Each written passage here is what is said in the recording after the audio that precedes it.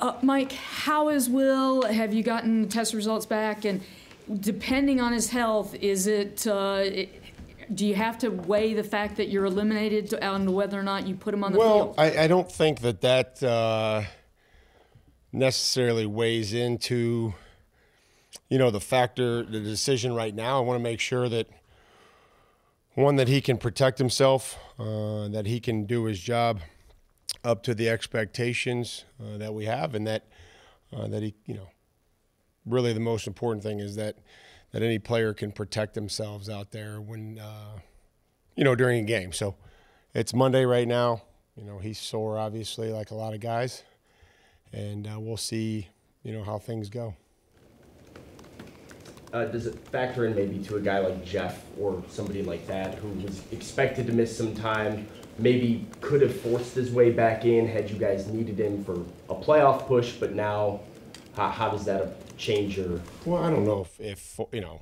I think everybody's that's out is uh, doing everything they can to, to, get back until you know we have to uh, or decide to put them on injured reserve for uh, which would you know at this point in time end their season. So that hasn't happened. Um, so I know that that everybody that, that wasn't healthy enough to play in the game is is doing everything they can to get back and, and realizing that uh, you know every every snap is is meaningful. It means something to somebody, and you know so I wouldn't exclude Jeff from that or anybody else if they can if they can play. We want them to play. Sure. Will's injury to what Ryan went through these last couple of years? Uh, I think the mechanism is the same, is similar, and you know those are those are things that you know make it difficult, and you know those are things that come up, you know, as you're you know getting tackled or in a pile or anything like that. Safe to say Yeah, that. say you know, I mean, just kind of same thing he has been dealing with. I guess, as far as run defense goes, how, many missed tackles did you count and, and do you? Well, there was a handful, but there was also some. You know, I don't want to, you know, get this, you know, but third and fifteen, and they handed off for 14 yards. You know, there was a couple of those third down and long situations where some of those yards were were had. There were some some snaps on first and second down and normal down and distances that that weren't good enough. But then there was also, you know, a, a lot that were. So um, I think some of the numbers, um, and again, I don't have a percentage, but there's somewhere on third and long where they handed off and we're in a substituted defense, and you know, either way, it's got to be better. There were some missed tackles, and you know, we, we have to be better all the way around in all three phases. What about on the interior uh, of the D line? Like it seemed like a lot of the runs were between the tackles. What, what was happening there? Well, the couple that were in, in inside were, um, you know, the third and long where, you know, Nico and Arden are playing on third down. There was another, you know, 12 yard gain backed up on the, you know, two yard line that, you know, went inside that, you know, got to fit, get off blocks and, and tackle. Um, you know, and then there were some good snaps where they tried to cut back and Marlon or Jaleel or, you know, Keondre or, you know, one of those guys inside were there. At what point is determination to establish the run turn into stubbornness to do something that's been futile? Well, we don't ever want to be uh, stubborn, but also knowing that, you know, some of those things that allow us to, to gain yards downfield in the play pass game are also uh, set up through through that run game, and you know, so I don't think it's a stubbornness. We have to be balanced. We have to use those formations and those running plays, um, you know, to, to set up some of those play passes down the field and you know be able to. Uh, you know, create good pockets for the quarterback so that they can deliver the football. So whoever's in there can can step up and throw the ball downfield.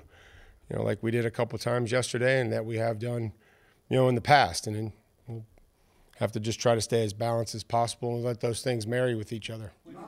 got a, the offensive line got a makeover in the off season, and it hasn't necessarily translated into better play. do you need to maybe reevaluate uh, what you look for in offensive linemen and how they play?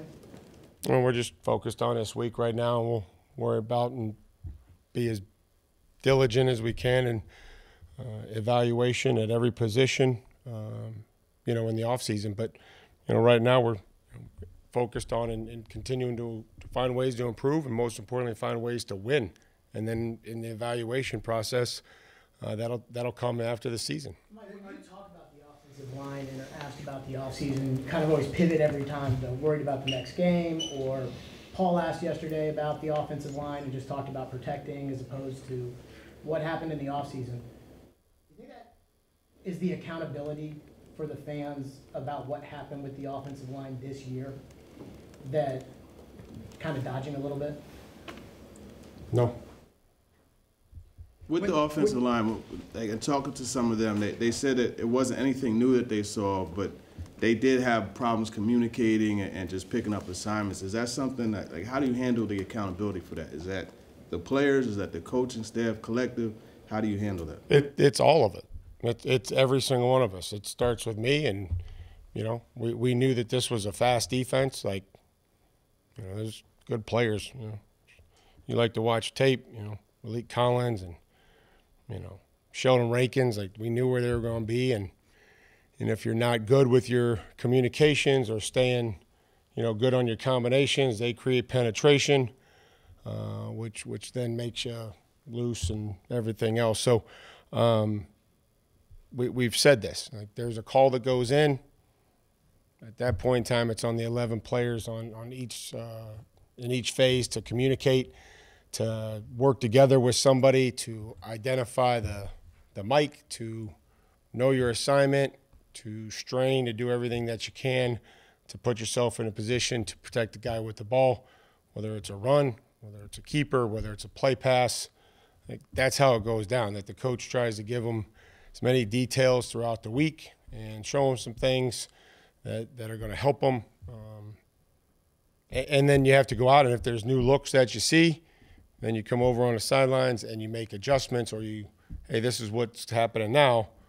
I know we had talked about this, but you know, for the most part, you know, they were pretty much that was the structure that we had seen uh, in the previous weeks. When they're running 17 times for 12 yards on first down, is that setting up play action? Are people biting on that, or are they having a fine time stopping the run with what they have up front? Did it establish anything for you to do in play action? Well, we hit a strike uh, behind the linebackers, you know, late in the game um, to Hopkins, so it, it, must have done something. I mean, there was. Um, was that trade-off worth it?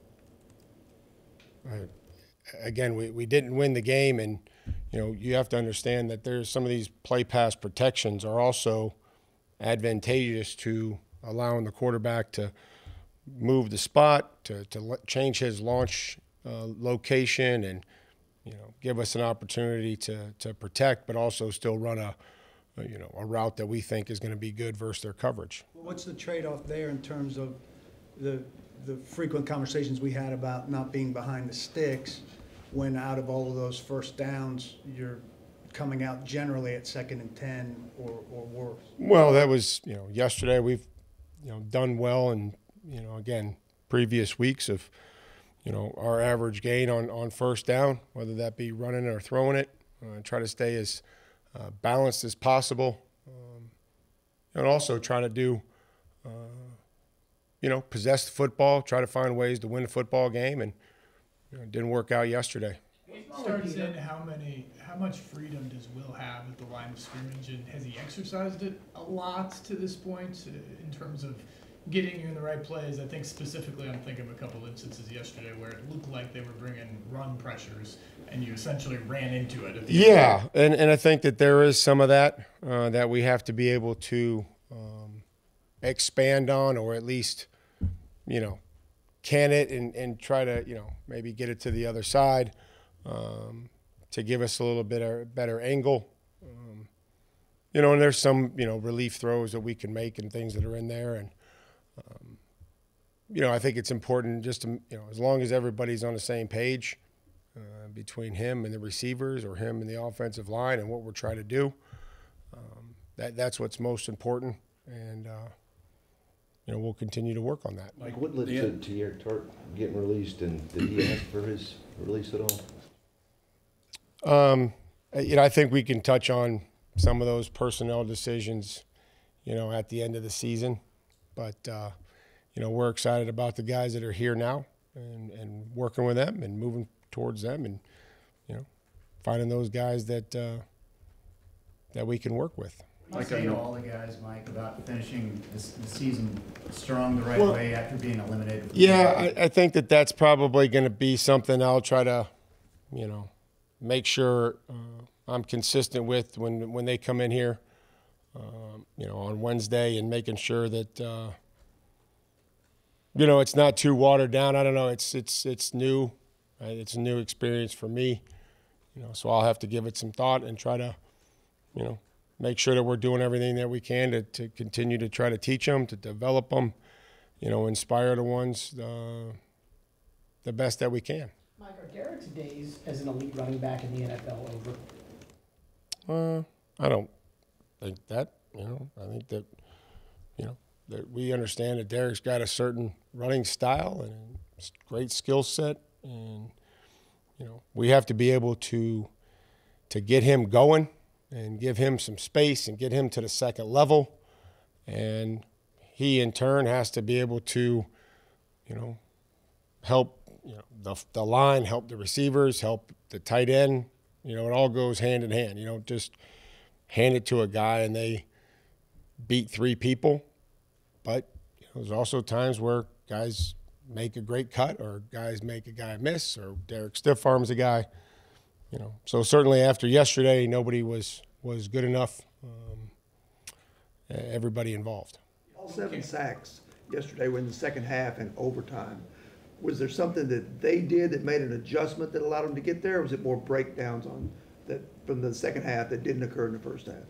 Um, well, they you know, two, um, you know, two through three quarters. Um, you know, one came, um, you know, down in the red zone. I would say that, um, you know, we'll, we're trying to hit one. We're trying to play that we had designed from before, and you know, they didn't bite on it. Uh, Will probably waited it out a half a count too late, and it wasn't there.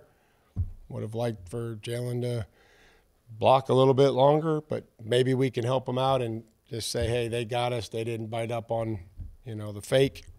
Um, you know, you go by case by case basis. There were some that, you know, tried to throw the ball on first and 10 one time and wasn't open, so it was a sack. So, you know, it's it's a lot of things. Third down, they show up third and long, you know. So it's just got to be, you know, cleaner. Um, you know, with, with with everybody involved, with the, you know, how quickly we we get open, the, the concepts that we're giving them, how quickly we get open as receivers, uh, how long and how well we block. Um, you know, the the quarterback's movement in the pocket, I mean, all those little things that, again, that that that all goes into it. I mean, yeah, there's times where we got beat, uh, but there's also a, a play and a, and a process to the entire operation. You're currently starting two rookies on the left side of your offensive line that seemed to have a rough day yesterday. A lot of teaching tape there, and what's the message to them as they bounce back?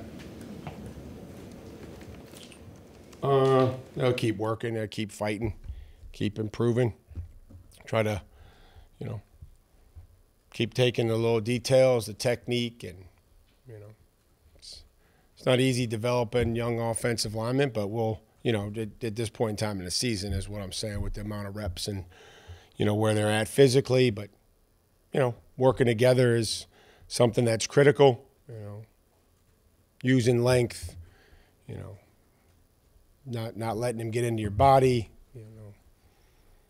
But and they had some snaps where they where they blocked him well too, you know. Do you think that, that last sack of Levis was a hip drop, and I wonder if you had any more thoughts on, on that, I know that, I guess the NFL is looking to, to ban it next year.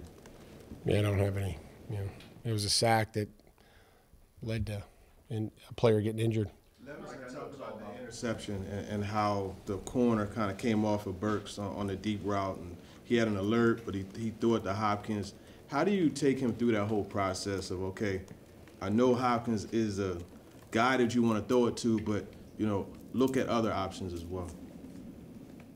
I mean, I think just you know, there's a there's a primary, and there's obviously um, things that you have to do before you throw it there, make sure you're looking out in front of the crosser, and you know, understand that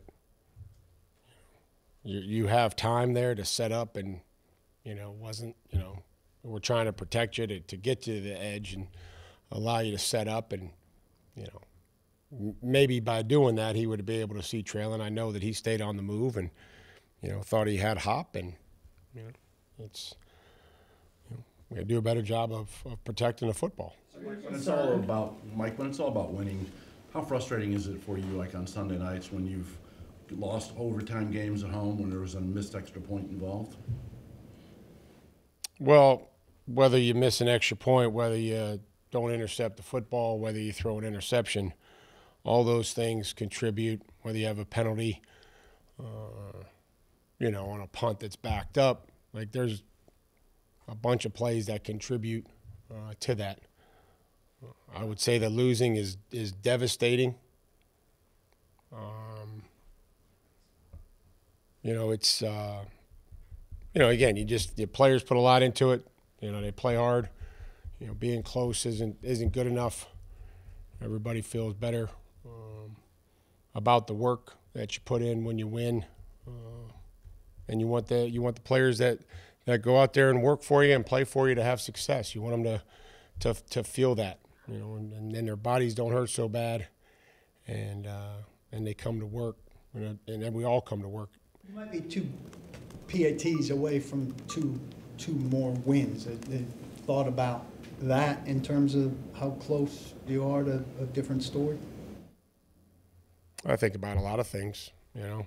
So can make points up other ways. You know, Nick's been really good for us. Um, I'm sure he'd like to have that kick back yesterday. Would like to have a lot of things back. How this week's, or these next three weeks are kind of a new experience for you as a head coach. How difficult do you expect it, or do you expect it to be difficult to keep the same No. messaging and kind No, of keep well, I don't know what the messaging is going to be. You know, it's just, you know, we'll figure that out, and we'll try to we'll get them as prepared. We'll figure out who's available, who we need, um, you know, to make sure that uh, you know our guys are ready once we determine who who that's going to be. To make sure that they're ready and that they all prepare as starters, and you know, some of these a lot of these guys are just getting their first opportunity of playing with us or playing with anybody. Challenge like keeping the morale where it needs to be in these last three weeks. Uh, you know, rely on the assistant coaches, rely on our leaders, um, be great every day. Uh, don't be phony. Um, you know, be as authentic as, as possible, and uh, and keep teaching them uh, the things that are going to help them. You talked about guys and how much you expect out of the defensive line because of the money that you pay those players. Using the 11th pick on Peter, are you disappointed with where his play is right now? Um, no, I think Peter's been uh, been working hard, and you know, again, the the player evaluation. You know, we're we're putting a team together, and um, Peter works. Peter's improved.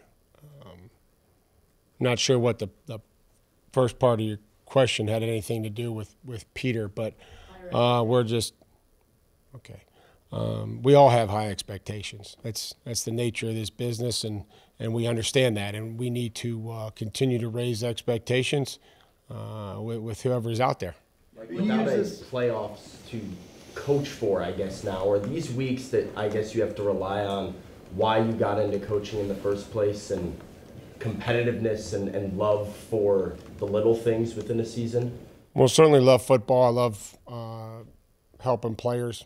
Remember that. Remember why you got into this, and uh, watching them improve and have success, and uh, you know, the the you know, embracing their competitive spirit, and and making sure that uh, that we're doing everything that we can to put them in the best positions to go out and, and, and enjoy it, but and enjoy it from, you know, having success and, and winning and making plays and, you know, it's it's a fine line each and every week.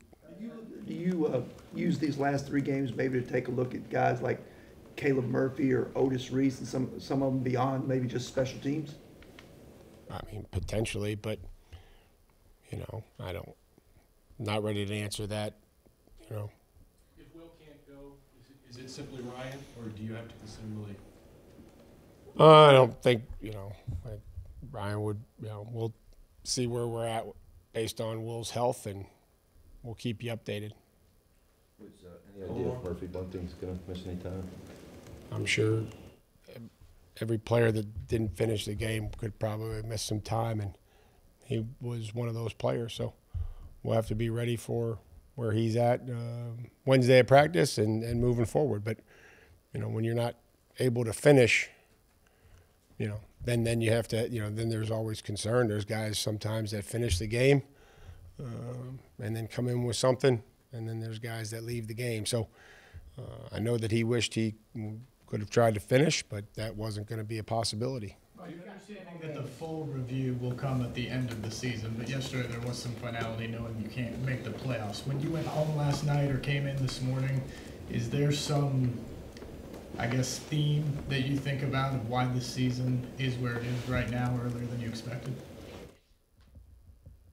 No, no, we we uh, we're we're focused on you know I appreciate the the the question I do I just uh, we're we're focused on on what we have to do today on who's injured and how they feel and how many guys are sick with the flu and all this other stuff that's that's my focus is not you know going back and you know and evaluating that right now.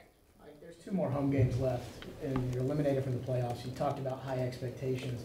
For what would be the team's message to the fans about the two home games to finish out the season and the belief in the program going forward into future seasons? Well, I think the belief going forward, eh, you know, we'll can always discuss that. I mean, we when our guys play hard, if our if you feel like our guys loaf uh, consistently, I mean, obviously there's a lot of snaps in the game. We can all pick them out, but you know, when we take the ball there at the end and you know three negative plays on defense that you know from guys that maybe have been here on the practice squad or just got here.